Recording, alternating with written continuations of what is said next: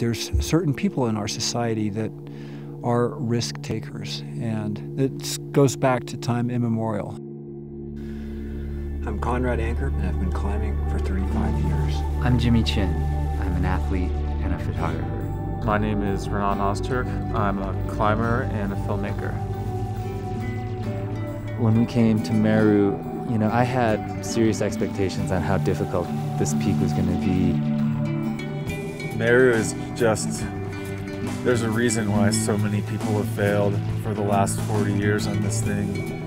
It's just because there's all different kinds of alpine objectives stacked on top of each other, and each one of them doesn't want to be climbed.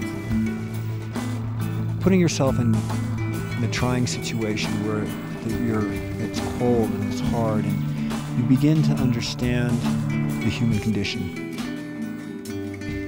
Success in the mountains is number one, getting back safely. Number two is returning with your friends. And, and, and the third thing, if you're lucky, you get the summit.